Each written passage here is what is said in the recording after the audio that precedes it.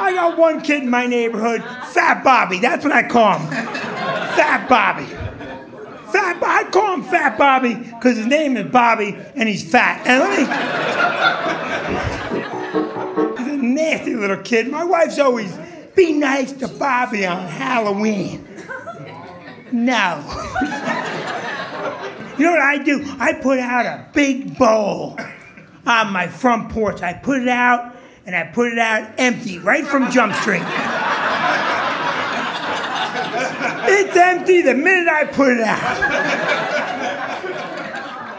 I know kids come up to my door and they go, ah, look at that. Mr. Brand tried to be a good guy, but some SOB took all the candy on one shot. You know what I find solace in? You know what I find comfort in? That at least 95% of them go, I bet it was Fat Bobby.